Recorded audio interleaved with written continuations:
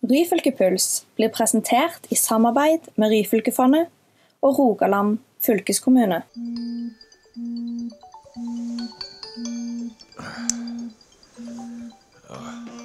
Ja, god morgen. God morgen. Ja, jeg kan ikke ligge her. Det er jo tross alt lengst innerst i Ryfylke med. Og da, når vi er Sauda, da er det jo bare sånn at du må bare komme i gang med dagen. For her, her er der Ryfylkepuls.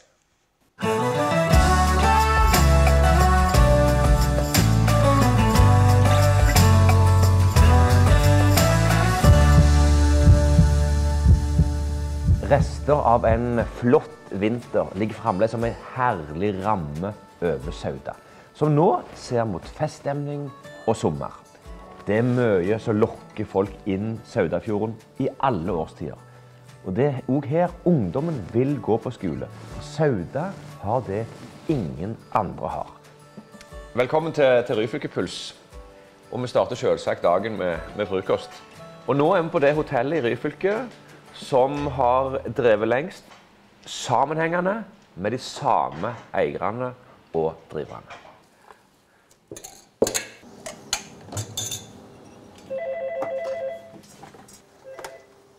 Prøv å ta deg så. Jan, nå, nå, må, nå må sette deg ned. Må sette deg ned nå. Ja, nå, du må sette deg ned. Du, sant? du, Jeg tenkte jeg skulle få røyke. ja, men du går og går. Jeg, går slå jeg, jeg skulle ta en skritt til. da, Ja, det, ja ja. Ja, det skulle jeg hatt. ja. Hvor ofte sitter du deg ned, setter du deg ned sånn som dette? Jeg sitter litt på en halvtime time på morgenen når Mette kommer. Ja, som fruen. Ja. Så en kopp kaffe. Det er alt jeg drikker på dagen. Hvor mye sover du? Nei, det, det, det hotellyrket. Da sover du sånn denne vann. I natt har jeg ikke sovet, for det har vært folk ute en hele natt. Så da må jeg Da ligger jeg litt etterskudd i søvn, så da må jeg ta det igjen. Det høres ikke veldig sunt ut. Nei, det er ikke sunt i det hele tatt. Så det, Du, Hva tid var du hjemme sist? Er det, vet jeg faen, jul, ja. men- Jul? Ja. Bor du på hotellet? ja. Jeg bor Ja, men, men, men, men, men hvordan holder du ut dette, da? Nei, altså, det, det, det er jo Du får ikke solgt det heller. Det er ingen som kjøper det.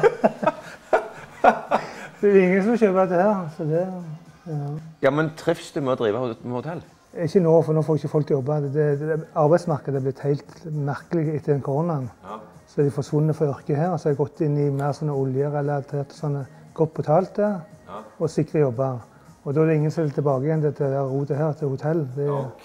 Og de vil ikke jobbe kvelder og netter og sånn.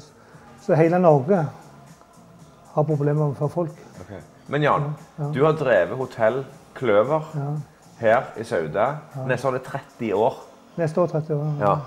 Eh, Jeg, nå, nå, nå forteller du litt om hvordan det er nå etter med korona. Ja, det er bra, det er bra fyr i den her. er Det er bra fyr. fyr i den. Men, men du, hva, hva, hva som gjorde at du starta, da? Nei, vet du, jeg, har jo hele utdannelse. Kokkeskole, handelsskole, Ja. handelsgymnas, hotellhøgskole. Jeg har alt i yrket her. Nei, for du er jo ikke fra Sauda. Nei, jeg er fra Stavanger. altså. Ja, men så fant du ei Jeg fant kjekke. ei kjekk dame i Sauda, vet du, så ble det forferdelige greier å være ansatt. Ja. Men hva, du som ho- hotelleier, du må jo skryte av Sauda. Kom til oss. Hva, hva, vil, hva, Ja, hva ja. vil du trekke fram i Sauda? Det, er jo veldig mye veldig mye skal skje i Sauda i framtida. For det er jo snakk om en sånn ammoniakkfabrikk på Austrheim. og Fabrikken har jo enormt mye å gjøre. Og de utvikler, Altså smelteverket, ja. Smelteverket, for de skal ha gass opp mer på taket der for å ta vekk flammen. og Det er veldig mye som skjer. Men jeg, det må jo komme mer folk hvis det skal skje alt det der. Så, så jeg håper jo at det er det som gjør at hvis vi får en, litt mer folk her, så er det mer som benytter samfunnet her. Ja. Og det er en veldig fin plass å bo, så jeg forstår ikke hvorfor folk vil bo i byene. Det er mye kjekkere å bo her. Ja. Der kan jeg klatre trær og gå i naturen og alt. Ja. Det har du ikke i byene. Nei. Og hvis du kjører en bil, så kan du stå hvor du vil, for det er ingen som gir bot. Men i byene får du bot med en gang. du. Så her, ja, kom til Sauda og gjør som du vil. Ja, gjør som du vil. Men du, Ja, Jan, fyr, ja. fyr fikk du. Ja, fyr fikk jeg. Og vi må komme oss ut eh, i Sauda. Og litt regn i dag, men det tål- det- tåler vi. Men det er lenge siden jeg har regn. Ja. Det må jeg poengtere. Ja. Veldig lenge siden. Det er viktig å For poengtere. magasinet er helt tomme. Så, Ja. det, Så det, dere, kommer, kom på en dårlig dag. Ja, det, men det var, det var feil timing Ja. uansett. Vi må ut i, i gatene i Sauda. Så det får gå Og vi skal- regn, ja, ja. ja, og vi skal ut i, til Åbebyen. Åbebyen, ja. Åbebyen er fin. My name is Sneath. Mr. William Henry Sneath. Omtrent sånn sa han det da han fikk åpna sin egen park og avduka sin egen bauta i 1951. Dette er den første smelteverksdirektøren i Sauda. Eh, og kom her da. Det var ikke så mye regn akkurat sånn, da han avduka bysten. Jan, eh, 51, du var jo ikke så gamle karen da. Du, du var gjerne ikke med på den åpningen da? Det var jeg ikke. Nei. Men du bodde her Jeg bodde her, ja. i Åbebyen. I Åbebyen. Ja. Du har passert 80 år. Eh, Hvor lenge av levetid har du bodd i Åbebyen? 80. Hva er det med Åbebyen? Ja, hva er det med Åbebyen for noe? Det er nok sånn at, eh, at jeg syns det er veldig ålreit å, å, kan du si, bo i et område der at eh, eh, alle hadde jo tilknytning til smelteverket. Og det gjorde at liksom Det var mye unger. Det var eh, Foreldrene var jobba på samme plassen.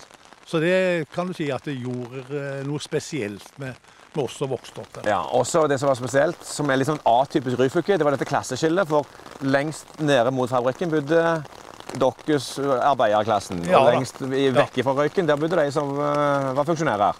Ja, eh, det gjorde det. Odd Magne, eh, nå er det sånn at eh, Åbebyen vi si, du, du er den største venn av alle venner, ikke sånn? det, det, det, det skjer ting i Åbebyen nå. Ja, det skjer ting i jobben. Hva skjer? Det som skjer nå, det er at eh, disse viktige eh, kan si, historiske kulturminnene som var fra før 1920, bl.a. parken, Snittpark, som, eh, som ble tatt godt vare på i mange år, men som de siste årene har vært gjennom et betydelig forfall, de er nå tatt vare på og rustet opp igjen. Nei, Det vi brukte eh, høsten 2021 på, det var da å planlegge neste trinn. og Det var å ta vare på fire tennisbaner. Det som er spesielt med de, det er at de var faktisk i bruk av kona til William Sneed i 1921. Og 1921 det betyr at de spilte tennis der borte før de tappa ovnen for første gang. Som var i 23. Som var i 23, ja. Og det som òg historien sier, det var at uh, hun godeste fru Sneed hun har nok vært veldig tydelig overfor mannen sin om at skal hun være med inn til Norge, inn i en fjordarm, så skal hun i hvert fall spille, spille tennis. Så amerikanerne de har uh, hatt med seg både, si, både koner og tennisinteressen. Ja, det Ja. har de hatt. Og uh, eh, Sauda har mye å skryte av. Og vi skal rundt i, i Åbebyen. Og bare noen steinkast herfra så skal vi til dagens, dagens ungdom i Åbebyen på Sauda videregående skole. Og den kanskje aller mest populære linja av alle i hele Rogaland, nemlig ambulanselinja. Og nå er vi på en av de plassene som er vanskeligst å komme inn på av alt videregående utdanning i hele Rogaland. Kristina, ambulanselinja. Hvorfor er det så kjekt å gå her? Det er veldig givende å kunne ha muligheten til å hjelpe andre folk. Eh, og kunne hjelpe dem i en sånn sårbar situasjon. Eh, det er da derfor jeg har valgt å gå ambulanselinja. Jeg, s- nå forstår jo til og med jeg hva de holder på med. Det er jo hjerte- og lungeredning. Men, men hva er dette for noe? Dette er da en bærestol. Dette bruker vi for å få ut pasienter fra hjem der det kan være vanskelig å få dem ut. F.eks. de klarer ikke å gå sjøl. Eh, Så dette har vi gjort mye gjennom hele året. Så nå er jeg en slags case, en test for dere i dag. Ja, det blir litt sånn. Én, to, tre. OK. Ikke si at det er det som jeg frykter det er. Eh, Nå skal du eh, få se litt på blodsukkermåling. Dette er ofte sånn som vi får gjøre når vi er liksom ute i ambulansen, da. Sånn. Ok, Ja. okay, ok, jeg bare, jeg vet Nå kom hva. det et stikk. Ja, Nå kommer det et stikk. Au, ja, det var ikke så gale, når jeg tenker meg om. Når når du står og ser på Herman, hvordan opplever du at de har de kontroll, eller? Absolutt. Det ser veldig sånn ut. Det er jo, vi, øver jo, vi har jo tre forskjellige fysiske tester. En av de går på springing, en av de går på bærestol i trapp, Ja. og så har vi en på båre okay. der vi skal bære et backboard eh, 200 meter. Så dette har de øvd mye på, altså. En, to, tre. Ok, ja. Og vi skal da ned ei tropp. Og jeg, jeg er visst um, idealvekta, for det har de prøvd på, sant? Det er det det? Ja. Okay. En, to, tre. Ja. Ble jeg litt for tung nå? Eh, nei, det er ikke for tunge. Det er mer at det, at det er litt eh, glatt. Si det som det er. Jeg var for tung. Ja. Nei, det er jo dette vi har øvd på. Det er mer, eh, vi pleier å ha hansker når vi bærer. Jeg lurer på om at jeg muligens knakk den foten på veien ned. Den er knekt. Den er knekt. Den er knekt. Da kan du klarer bruke å gå på til å den andre. Klar, jeg klarer å gå på den andre. Oh, ja, ja. En, to, tre. OK. Fint. Ja. oh, tusen takk. Ja, jeg kan ikke bevege foten. Så. Så må du bare si hvis du gjør vondt. Ja. Ah, å, den var litt vond. Sånn der. Ja. Du har 15 fantastisk flinke elever som kommer gjennom nålauget for å komme på denne utdanningen her. Ja. Ja. Eh, Hvordan er det å å være lærer for så motiverte elever? Ja, det, er, det er kjempekjekt og spennende. Eh, Men så klart så krever det mye av meg òg, at jeg må eh, levere og holde meg oppdatert. Eh, Så, så det er veldig spennende. Kjekk gjeng. Ja. Men det er noe der framme. Jobb. Det er ikke lett å få jobb så, i- innenfor ambulansefaget. Nei, det er ikke det. Det er ganske krevende. sånn at de har jobba veldig hardt eh, for å få eh, de læreplassene som er. Og etterpå? Hva venter da? Etter læretida? Etter læretida da venter jo forhåpentligvis at de tar et fagbrev og kan få seg jobb som ambulansearbeider. Jeg bare lurer på det, eh, Dina. Ja. Hvor lett er det å få jobb på ambulansebil etterpå? Det er ikke lett. Nei. Vi har eh, ca. 20 læreplasser i de to foretakene som vi søker, da, altså Helse Stavanger og Helse Fonna. Ja. Eh, og så eh, er det ca. I Stavanger var det vel 140 søkere Å, hjelpe meg. Eh, og ti stykker som fikk der, da. Så ja, det er ganske hardt. Mange fysiske tester vi må gjennom, og intervjurunde. Og, og så er det ikke sikra jobb eh, etterpå, da. Altså sånn 100% stilling. Mange jobber seg opp 100% stilling. Du Så mye vikariater. Du er klar over at du har valgt helt feil utdanning? Jeg føler jeg har valgt veldig rett. Du skal, der var det voldsomt. Skal jeg, skal jeg, må, jeg, må jeg slappe av? Ja, OK. Det viste 168 over 108. Det vil si, hva betyr det? Um, det er helt greit. Litt høyt, men Litt det kan høyt, ha ja. fordi du snakket. Ok, Så de har sagt at jeg har litt høyt blodtrykk, men det er fordi at jeg er så nervøs med sånne folk som det der, og, pul og pulsen den slår så veldig. Men det vi i hvert fall kan si, da, det er at uh, Syns dere jeg har tøff T-skjorte? Jo, veldig. Ja, veldig, sant? Og den har dere lyst til å vinne? Eh, absolutt. Ja.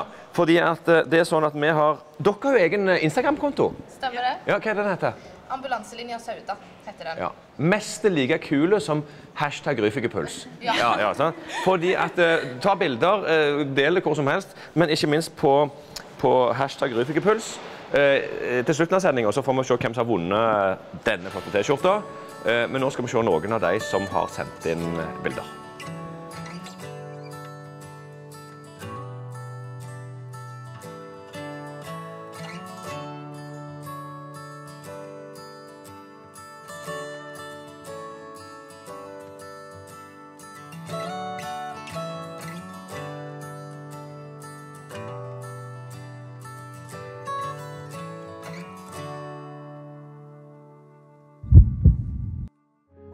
Jeg heter Sebastian og driver Smaken av Ryfylke på Hjelmeland. Smaken av Ryfylke er ikke bare et navn, men det er vår filosofi.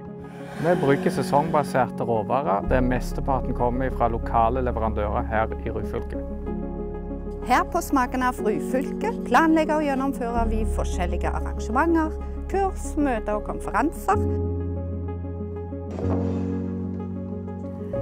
I år skal vi i tillegg bygge et stort selskapslokal. Når denne her spaavdeling har blitt til et selskapslokal, så skal vi gjennomføre eventer og aktiviteter som kan flettes inn i bedriftsturer, blåturer og private arrangementer. Framover skal vi ha sidasmaking med alle sidaprodusentene fra Hjelmeland. I tillegg blir det pianoduell og en sommerkonsert med en kjent artist fra Jæren. Vi gleder oss til å ta imot dere.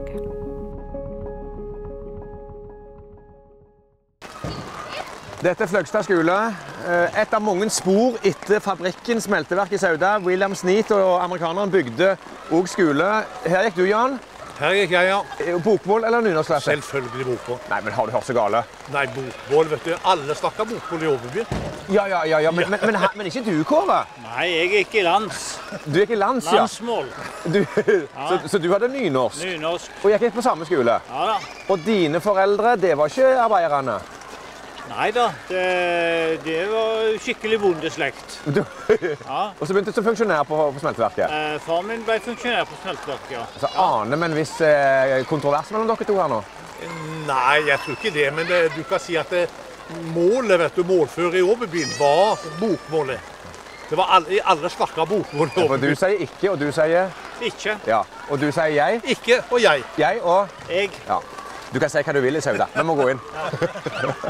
Lisa gikk til skolen, tripp, tripp, tripp, det sa.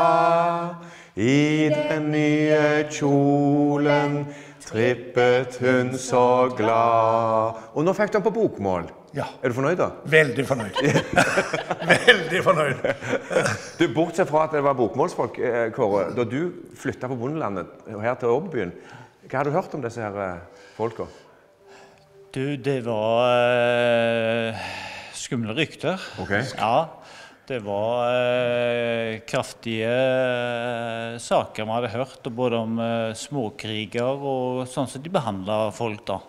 Nei, jeg tror nok at ryktet var nok overdrevet, da. Ja. Og det som var litt ålreit med det ryktet, det var det at når du skulle på kino og sånt, så fikk du gå i fred og greier, for, på grunn av ryktet og greier. Og det var nok veldig overdrevet, det ryktet han hadde, da.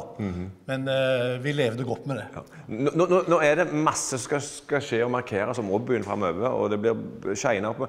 Anne Irene, eh, ja. det som de snakker om her, livet i Åbyen, det drar du inn på scenen nå. Ja, det Eh, gjør jeg. For ja. jeg har ikke min erfaring for å bo i Åbebyen.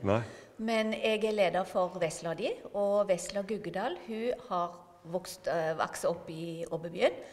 Og hun har hatt en kjempeidé om å formidle livet fra hverdagen Ja. og fabrikken. Så der blir det sang og sketsjer og ja, alt mulig fra dagliglivet, både innenfor porten og utenfor porten. Ja, for dette er en familieforskning som heter Voi Voi. Voi, voi, Nå tenker jeg, jeg tenker Nora Brogstedt. Ja, og det er faktisk det som blir åpningsmelodien på showet. Ok. Men eh, det er ikke rykter om at de som bodde i Saudasjøen og Birkeland, når de skulle til skoletannlegen f.eks. Skoletannlegen var i bygget her. Så grua de seg ikke så veldig til, til tannlegen, selv om de hadde den gammeldagse båren vet du, med ti omdreininger i minuttet. Så, eh, men det var å komme helskinna opp på venterommet. Det var det som var utfordringen. Ja. For da sto det noen. Da var det noen som skulle ja. Var, det, en- var du en av dem? Ja, så vet du, de som bodde der, var vel en av de alle. Og da havna vi nokså langt nede i Åbebyen, mot eh, smelteverket. Og her er byanlegget. Hva, hva var det for noe, Odd Magne? Byanlegget det var da altså de som jobba med å ta vare på boliger og parker og gater og belysning i Åbyen. Det var, det var den, deres jobb. Så de møtte opp på den plassen her, det bygget her. Og I det bygget her så var det rørleggerverksted, det var, det bilverksted, det var elektrikerverksted, det var snekkerverksted. Som fabrikken dreiv. Som fabrikken dreiv. Så det, det ble kalt for byanlegget. I nesten tre år har vi planlagt dette. Overbyen Åbyen Reunion har vi kalt det. Og eh, det er program på dagtid med gjenåpning av parken og vandring rundt. Og vi skal på lunsj på eh, Eramet.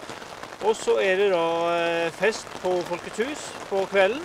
Og voi voi for store og små. Ja, det blir det. Det blir en forestilling om eh, livet og fra hverdagen i gata oppe i Åbebyen og på fabrikken og litt rundt omkring i Sauda. Og der er det både proffe og amatører som er med. Så vi har fire forestillinger i pinsen. Og Jan, jeg regner med at du er en blir ekstra stolt over å ha bodd alle dine år i Åbebyen når du er med på den helga der. Ja, det må jeg si. Det er jo klart at eh, 80 år i Åbyen, det, det lar seg høre, det, vet du. Så ser vi da Bastionen smelteverk i, i bakgrunnen, der hvor jo de som bodde i Åbyen, jobba. Sauda det er så typisk. De skal feire og feire og feste og feste. De er verdensmestere på arrangement. Før denne helga med Åbybyfest, så er det Saudadager. Endelig igjen. Det hadde ikke vært på tre år, og alle vet jo hvorfor. Saudadagene. Og Ann-Kristin, eh, i den lille dammen, eller innsjøen, eller hva vi kaller det i Sauda. Ja. Hva skal skje? Ja, her skal vi arrangere Ta sjansen for andre gang. Ja. Eh, Ta sjansen er jo, som mange vet, et showrenn som ble arrangert i Holmenkollen på 80- og 90-tallet. Til glede for både oss TV-tilskuere hjemme og for de som var til stede. Eh, og her skal vi ha vårt eget Ta sjansen eh, med 14 deltakende lag fra ulike bedrifter her eh, i Sauda. Så det gleder vi oss voldsomt til. Du testa det altså ut i 2019. Og da, jeg forstår at responsen var så stor at det, å, dette må vi gjøre igjen. Ja, eh, det var jo egentlig planlagt som et familiekonsept. Ja. Eh, der vi påsken 2019 satt på hytta og planla årets familie-OL eh, i en meget konkurranseprega gjeng. eh, Som liker å utfordre hverandre. Og så eh, måtte vi undersøke med det lokale næringslivet. Sant? Og andre er det bare vi som er galne, eller er dette noe vi kan få til her inne? Og da opplevde vi jo en enorm positivitet eh, og velvilje til å ville få til. Eh, sponsorer bidrog, og eh, ja, Ragnar og de i Saudadagene var veldig positive til at vi skulle klare å skape et kjekt arrangement her i Andedammen. Ragnar og de, det er, altså et, det er en betegnelse i Sauda. Ragnar og de. For, for det, uten, uten Ragnar og de, så er det vel ikke noen Sauda-dager? Nei, men, men det er jo akkurat dette det går på. Ja. Ja. Dugnadsånden. Eh, og Det er jo fantastisk nå etter tre år uten noen ting. Og når sånne folk stiller opp, så er det jo lett å koordinere og, og gi gass igjen. altså. Så det er helt supert. Ja, er- det lett? Altså, når du, blir det, blir det ikke? Det, det, det var de to forrige årene, sant? Ja, vi har jo planlagt for ingenting, egentlig. Vi hadde sånn halvveis greier i fjor for oss å bare ha noe, men, eh, men i år eh, endelig så kan vi kjøre for ja, gi bånn gass og få, få folk til bygda igjen. Det er svære konserter, det er eh, Ta sjansen, det er andaløp, det er løp, det er og så, ja. Skal du sykle, eller skal du ikke sykle? Nei, i år så blir det være med på rigging og, og arrangementet. Så eh, heldigvis så slipper jeg å sykle i dag. Heldigvis, ja. Det men sykkelklubben eh, har det, Sykle fra Haugesund til Sauda, det er litt logistikk? Ja, det er, det er et eh, forholdsvis stort arrangement, så, så det er både Vi trenger både eh, armer og, og bein holdt jeg på å si, til å, til å rigge dette her. Så, så det. Men det er jo et betydelig ritt. dette. Over 400 har deltatt på mester. Hva, hva forventer en i år? Nei, det, det er veldig spennende å se nå. Nå har det vært to år der vi ikke har fått arrangert pga. Uh, korona, så, så vi er veldig spente. Det har jo vært litt ned, nedadgående kurve kanskje på sykkelsporten eh, på de store arrangementene, så vi er veldig spente. Men jeg føler jo at eh, vi ser flere og flere syklister ute på, på veiene nå, så det blir spennende å se. Ja. Og, og Ragnar, når syklistene blåser inn i Sauda sentrum, da er det Tour de France-stemning? Ja, til å være turritt så er det helt fantastisk, egentlig. Og det får vi jo tilbakemeldinger på hele veien òg. At det er jo ja, det er, det er skikkelig stemning. Fra egentlig nedan til kaien og hele veien opp. Så det er helt supert. Hvordan er, det? er vi klare til å ta bølgen? Vi klarer å ta bølgen. Ja, ja. Skal, vi, skal vi begynne? Ja, er det slutt det å regne, slutter folkens. Ja, når vi snakker om OK, og så er det, da er det, det Sau- Saudadagene siste uh, langvekohelga i mai. Er vi klare for bølgen? Vi begynner der, da. Okay. Oi! Så da er det altså Saudadagene. Velkommen da. Og Siri Abrahamsen, du har eh, tatt et vanvittig flott bilde eh, fra Røsdalen, da med Forsand. Og vinne da ja, nå, eh, nå var det Under her. Under her er det, er, det en Ok, Under her er det iallfall en T-skjorte som du vinner fordi du har eh, delt på hashtag Ryfylkepuls. Og vi satser på når de tar masse bilder under Saudadagene Det gjør de alltid her. og deler på hashtag Ryfylkepuls. Ja, dette var instruert. Ja. Så enkelt er det. Vi skal holde oss i, i Sauda når vi er tilbake om et par uker. Da skal vi til Ytrabygda, og det heter Saudasjøen. Ja, Skjer det noe der? Alltid noe som skjer der. Takk for i dag.